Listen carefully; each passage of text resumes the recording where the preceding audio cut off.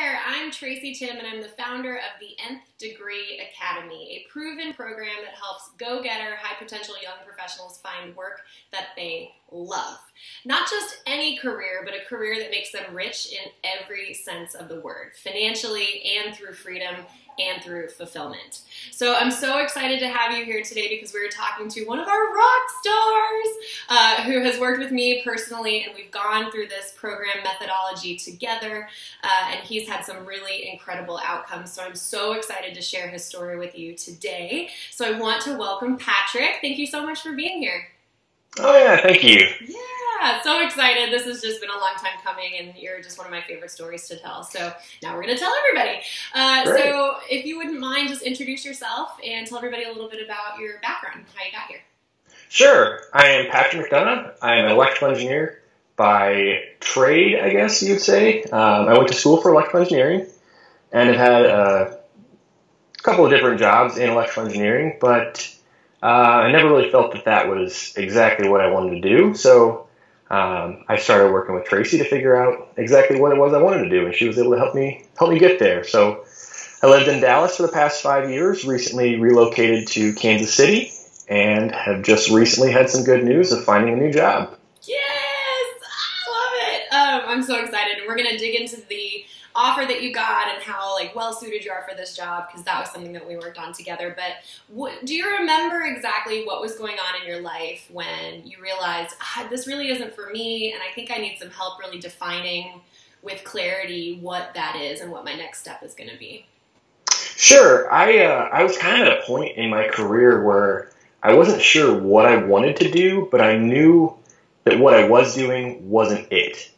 So I was looking to to figure out what I could do that was actually going to make me happy and not just make me money. Um, and so it was it was really um, you know I was doing stuff that I had done before. It was stuff I was comfortable doing, but I didn't really enjoy what I was doing on a day to day basis. Yeah, and you were good at it too, right? Oh yeah, I was yeah. great at it. That but it just wasn't what I wanted to spend my time doing. Yeah, that was the most interesting thing to me when we started working together was a lot of people come to me and say, I'm just not getting the success that I want or that I'm looking for. I feel like I'm putting my square peg in a round hole. Like you were in a great place to have been successful because you were good at it and oh, yeah. the world needs it and you're getting paid to do it, but you just didn't have that like zeal and excitement about it, right? Right. I w- I wasn't excited about what I was getting to do.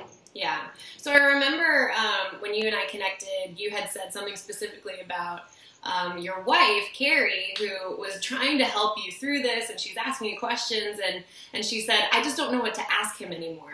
Right? Yes. So yes, that was exactly it. It was, was, figuring that? out the right questions to ask. Yeah, yeah, yeah. So what was that like for you guys working through it together, and then kind of realizing, oh, maybe we need some like third party input on this? Um, it was good, but it was also a little frustrating because um, you know, we both don't have that background of, of digging into figuring out what it is somebody wants to do. So, um, you know, like you said, we tried to ask ask the right questions, but we never were able to get the definitive answer, get to the right place. So finally, you know, I was talking with you um, when we were playing softball about like what you were doing and stuff like that, and so um, it just kind of clicked that hey, that's that's really the questions that I need to ask myself, and it'd be a great resource to work with you to uh, to figure out what I want to do. Yeah, yeah. So had you tried anything previously, really, besides talking to people that you trusted or your family and friends? Like, were there other things that you reached out to try and solve this problem for yourself? Not really. Um, I had, I mean, I looked at job postings to see. It's kind of trying to fit the hole to the peg, like looking at job postings to see what I wanted to do and see if that was the right fit for me. But um, it never it never really clicked going from back to front. It worked a lot better going front to back. Yeah. Oh my gosh. So I just did a really. Um, I'm excited because it's going to go live in a couple weeks. A video on this exact thing where job postings are really the last place that we want to go once yep. we have right all the clarity as to what we're even looking for. And when you try to do it in reverse, you end up spending, I mean, hours. I remember this, and I know you talked about it too, spending uh, hours of time getting more and more miserable and more and more in your own head because nothing that you see on those boards like sounds like you, sounds exciting, looks interesting, and you're hoping that it's just going to jump out at you. yeah, I mean, I applied for those positions. I went on the interviews, I, I got job offers. Um, I think I was telling you, I got a job offer at a plant that makes bullets. And so that's, that's like, we, we talked through what I'm passionate about and everything. Like, that is the farthest thing from what I'm passionate about. And they'd be doing even less of what I do now, like none of the creative work, um, but, and, and making bullets, which I have no passion for. I'm not the big redneck hunter guy, you know, you like, yeah. uh, Oh, that's so, yeah, the, that's like one of the the worst offers that I got was yeah. making bullets. But you were doing so. So I just want people to understand, like you were doing the things that you thought were right to figure this out Yes. for yourself, right? And, Yeah. and for most of us, that is going to job boards. That is, that is just applying because we think like, well, maybe this will be better, and maybe if I'm making more money there, that'll justify the fact that like I'm not that passionate about bullets or, Yeah. or whatever your you know your On paper, I was the perfect candidate for that role because I had all of the experience they wanted. I just did not want to do that job though. Yeah, yeah. But the thing is, like, we waste so much time because you've gone all the way down the road of applying and interviewing and whatever, and, and then even that company is losing time and money and, and offer money, like Yeah. interviewing you, and you had no intention of really doing that job. So, um, so then after that, uh, I mean, at that point, like when we first started working together, like how were you feeling? Was it frustration? Were you just like tired of it all, or what? What was your mindset coming into all of it? When when we first started working together, I was pretty optimistic um, because we had a relationship already. I, I trusted you. I knew what you were about, and I knew that you would be able to help me. So I was optimistic.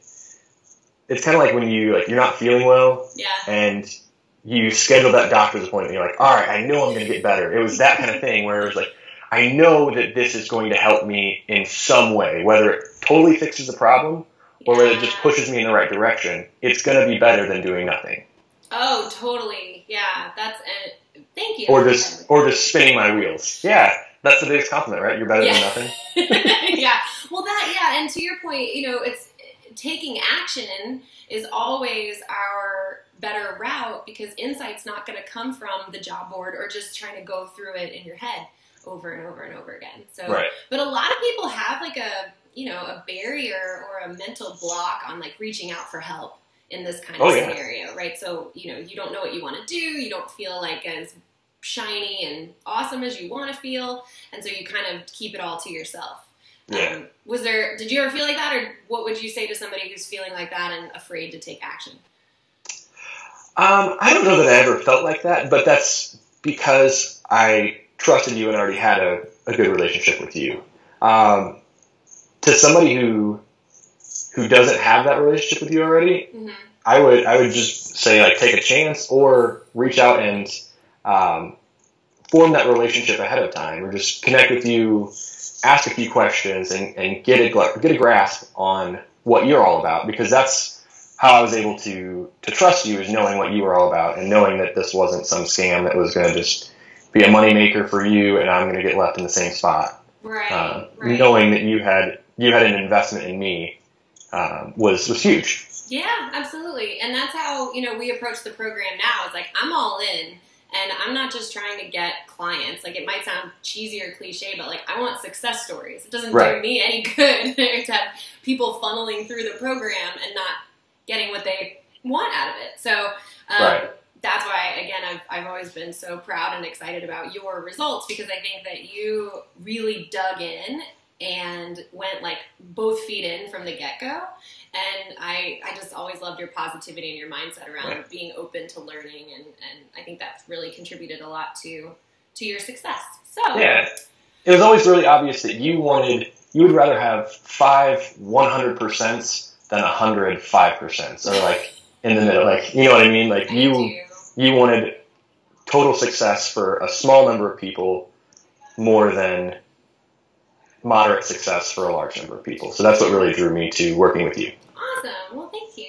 Um, so when we first started to work together, and we were kind of reframing some of your mindset around, again, sort of not putting the horse you know the cart before the horse, but really getting things back in order and really digging into your clarity and your mindset.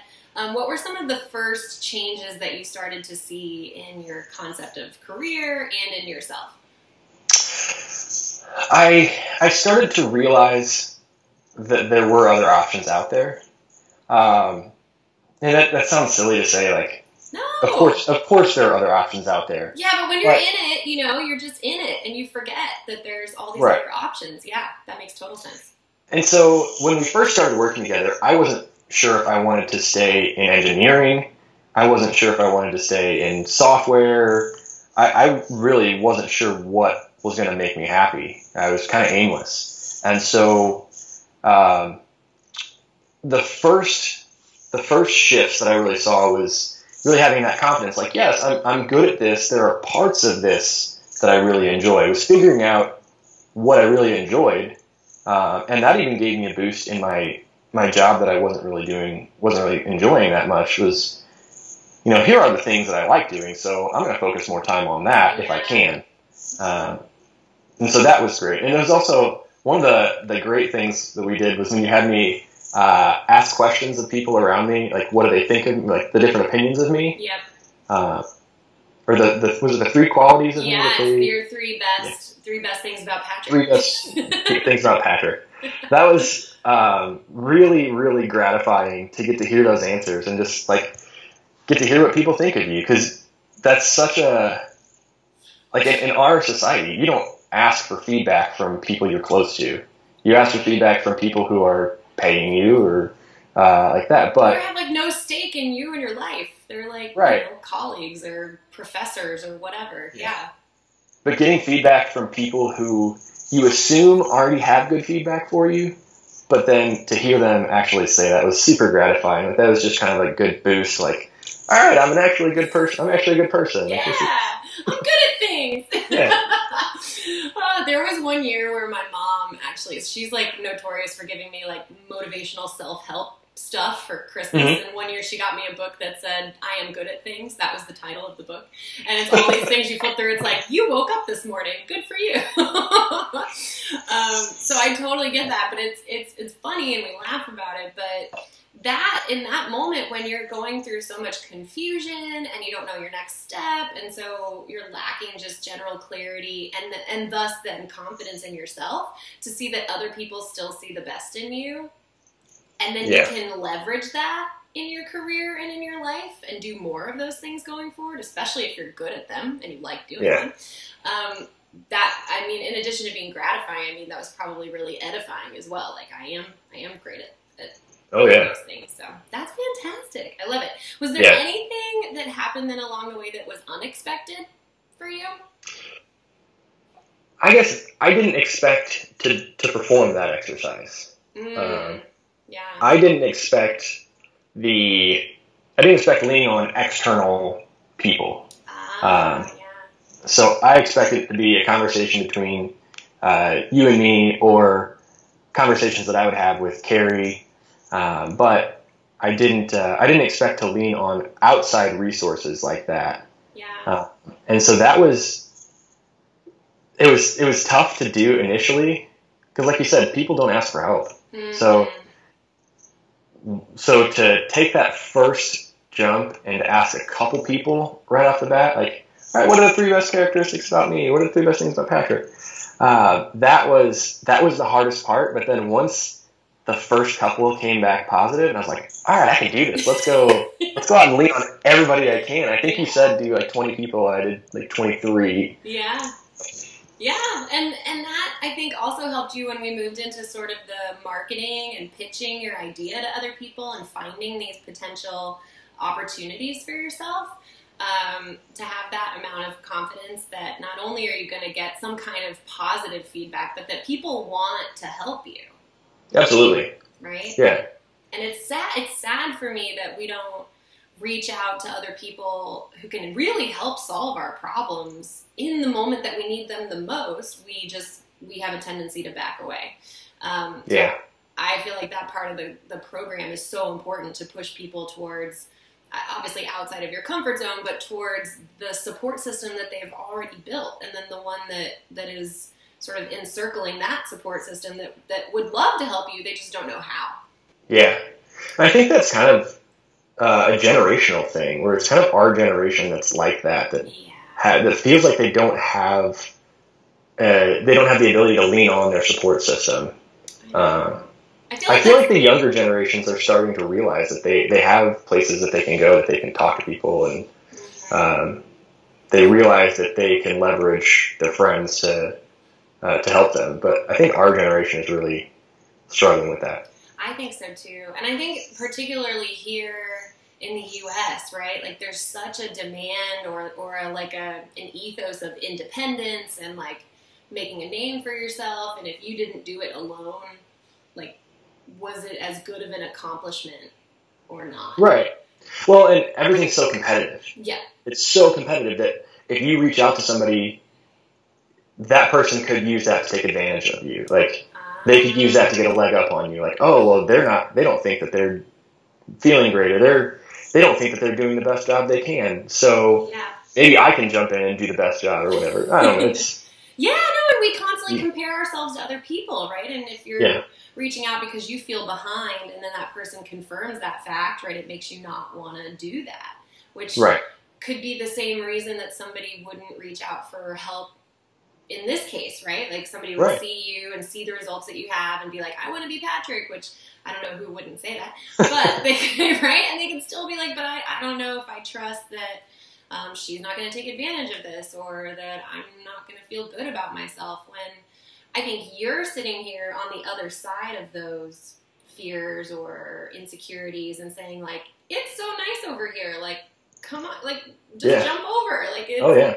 it's totally worth it. So that's why I, I just am so excited for you. So, Yeah. um, as we were working together, what was it like, particularly working with me? Because now in the program, uh, you know, that's a huge part of, of Mhm. our feedback loop. There's a lot of accountability. We have multiple group calls every week. So help people understand like what it was like for us two to work together specifically. Just for us, I mean, we had a relationship already, so it was a little bit easier, I think. hmm Um, but to work together, you really did challenge me a lot. So you asked a lot of tough questions, and like you said, I was I was open to answering questions, but it was questions I didn't have a quick or a good answer for right away, um, and it was questions that I really hadn't thought about. So having that that openness, the the trust, was pretty big to be able to sit there and Yeah. have that silence in the conversation while I was thinking, you know, what what do I want to do, or what does make me happy about the certain things. So, Yeah. uh, what are my commitments? What are my core values? Those types of things. Um, you know, to work through those, it's it's tough because there's not a right answer. that's the-. That's the disconnect I had between our work and like engineering. It's because engineering is a right answer. There's a right way to do something. Yeah. Um, but when it comes to this, it's not necessarily a right or a wrong answer. It's what's gonna what's gonna give you the best results Yeah. So how did you work on making, yourself. Yeah. How did you work on making that switch then to just say it doesn't have to be right per se in the I don't know academic or engineering sense, but it's right for me.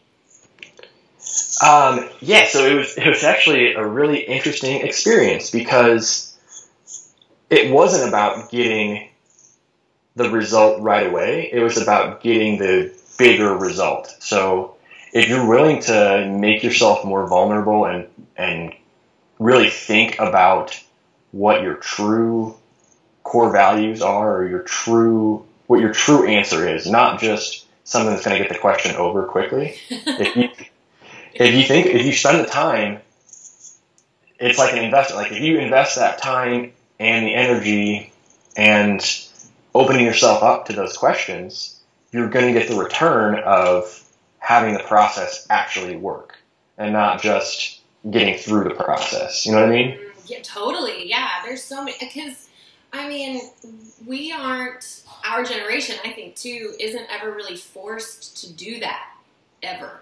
Like even in even in school, like let's let's use you know our entire formal education for example. Like you can get great grades without being really invested in what you're learning.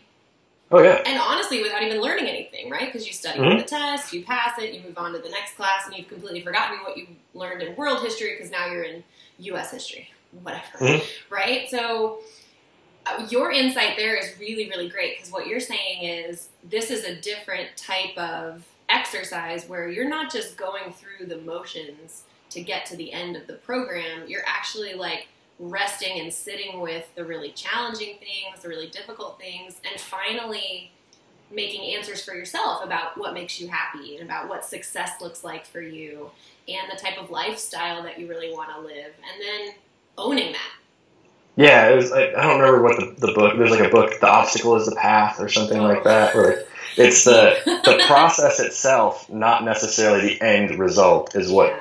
What makes you grow. Yeah, and I think that a lot of what we worked on together and a lot of what's in the, the program now are things that you can repeat over and over throughout your life, right? So you just got this really great offer, which we're going to talk about in a second. Um, but as your life goes on, and maybe, you know, when you and Carrie have kids, or if you move again, or if your parents are closer, there are all kinds of things change in our life to the point where we would need to reassess our core values and, and change our commitments to fit the life that we want then while still working towards another life that we're aspiring to. Mhm. Right? Which is super Yeah. cool. So, so you're equipped for life. I am I am equipped. I have all the tools. okay, so tell me then what your biggest insights were from the course as far as into you and what you wanted out of a career and how that now is translating to this new job that you're that you got an offer for Yes. and he's gonna pay you bank. I'm so excited. You have to tell everybody So- about that too. The biggest takeaway was figuring out how to talk about what I was looking for in a career. Ah. So it's figuring out how to ask people the right questions, um, but also knowing knowing what questions to ask to get to um, to get to what basically what I wanted to do. So Mhm. When we sat down and we worked together, we figured out that um, I worked best in a team of really talented people, um, you know, that are that are joined together for the goal of creating some really innovative solutions. Mhm. Uh, and so to be able to talk to people uh, when I'm networking with people, just asking them, you know, here's what I'm looking for. I'm looking for, uh, I'm not looking to be the, the one person. I'm looking for a structured environment with a, with flexibility involved, but mostly structure to where, uh, you know, it's it's smart people. Mhm. I don't. I, I like to try to be the smartest person in the room, but I don't like to have to be the smartest person in the room. Like, um, so to be able to work with a group of people and and have the common goal of creating the best product. Uh, and that was another thing we talked about was product versus project Mhm. work.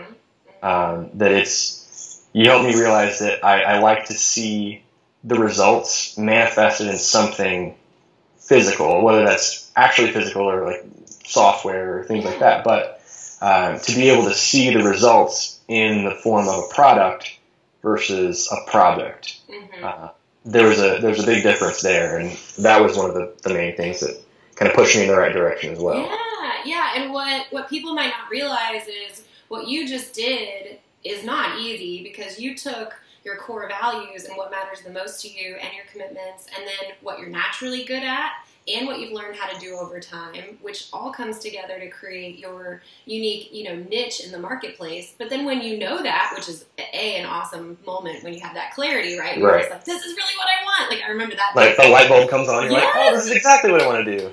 Yes, I remember that day with you, when you were just like, I, I know what it is, and and Yeah. honestly, like when you've had that feeling, you know what the before and after feels like, and you're like, I never want to feel like the before again because it's terrible. Uh, Right. But you, right? So you have your little nugget, and, but then it's sharing it with the world so that you can actually find those opportunities because you can't type into Google working with smart people on a product making you know whatever in a creative manner right like you can't you can't take people out of the out of the process once you get to that phase. And i remember very vividly you and i working together on what we called like your pitch. And you refined it every time you learned something new from somebody and that hit, hit a light bulb. You refined it and then you gave the new version to the next person and the next person. And and that's really led to where you are today which um, you have like this ideal job offer. So talk about that. Yes. So uh, i guess my technical position is going to be director of software development or software engineering uh, for meshify um, they they have an Internet of Things platform that connects sensors, um, devices, equipment, everything to the cloud.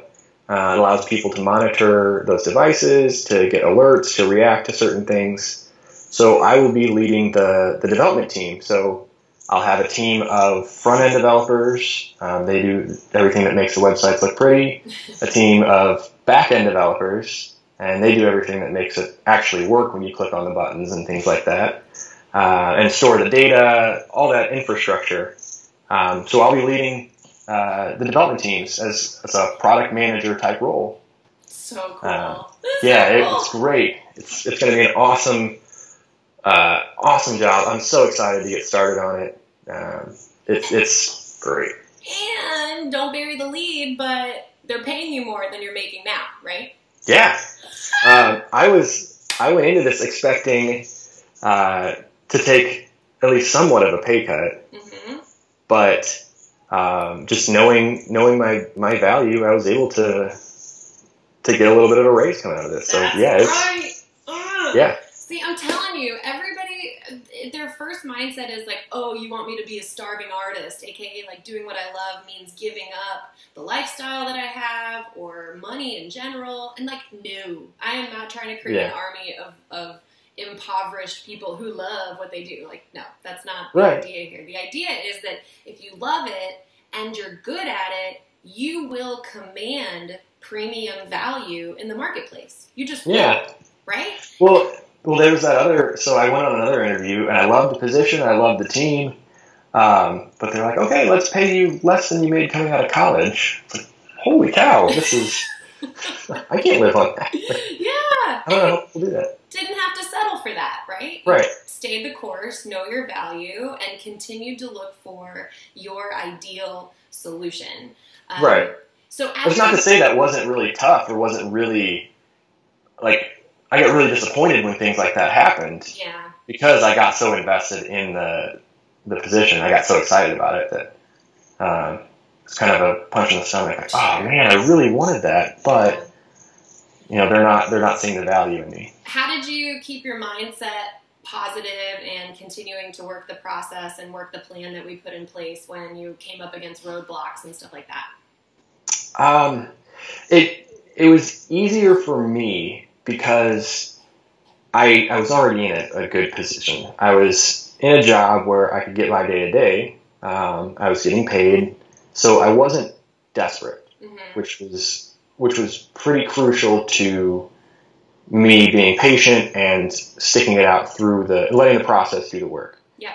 Because I feel like if I would have like if I didn't have a job and I needed to go somewhere, I would have probably settled for something uh, a lot less. I would have settled for making bullets or something like that. But uh, but yeah, it, it, so it was it was the ability to be patient that let me kind of sit back and wait for the right opportunity. Yeah, uh, and and probably the clarity with which you had worked through the entire process. Like I remember you told me that you told your new employer that we had worked together, and they were mm-hmm. impressed that you had invested in yourself invested in figuring out what you were uniquely best almost like bred to do, right? And that yeah. that aligned with what they had to be done. Like that's an employer's dream. Somebody right. comes in who's like gung ho, this is what they want to do with their life and their career, and oh by the way, that's what I'm hiring for. Like that's a that's a win. Yeah. Um, but you're you're so right. It can be really challenging if you don't have that clarity and you don't have that confidence in yourself and your value, which comes from not having a plan and not having worked through what your real values and your real worth really is. Right. Um, it can be so easy to give up and not stay the course. So I'm so proud yeah, absolutely. you, you did. um, so tell me now, like how your life, um, how's your life different on this side of things, and um, you know, and how you feel, and how you're you are with your friends, your family, etc. Like, how have things changed positively for you? Um, so I'm still waiting for things to actually change. I haven't started the new role yet. Right. Um, but definitely my, my outlook has changed, um, especially since, you know, since going through the process. Mm-hmm. Um, just knowing, knowing that there were things out there that I really wanted to do. Um, and you helped me kind of get started on looking for the right types of things. And so once I realized that, you know, there are these opportunities out there, I got really excited about going out and finding where these opportunities were. Yep. Um, and so that was really the biggest thing was being able to being able to talk about what I wanted, open that up to, hey, I want to go talk to these people and see if they know what I want to do. I just felt more excited about the search. Yeah. Yeah, because you know, like once you know, you just want to share it with people. Right. And and it kind of gave me uh, a theoretical light at the end of the tunnel Mm-hmm. to where it's like, all right, I know where I need to get. Yep. I just need to to go through the networking process and you know figuring out where I want to figure out the right way to get to the light at the end of the tunnel, so that I can get to where I want to be. Perfect. I love it. So, what would you say to somebody who has watched this all the way to the end and is thinking like, oh, like I don't really like my job, or I don't know what I want to do, and they're considering, you know, hopping on a call with me or going through the program? What would you tell them? Uh, I would say if you don't love your job, if you're not 100% invested in what you're doing, if you're not excited about it, it's worth looking into what else is out there. Uh, it doesn't have to be a job change. It could just be a mentality change, but it's worth going through the process to figure out what's actually going to make you happy, whether that's on a career level or personal. It's worth figuring out what it's going to take to get you to not get you back to zero, like get you above, get you to 110%, get you better than better than baseline. Yes, from stuck to unstoppable, right? Exactly.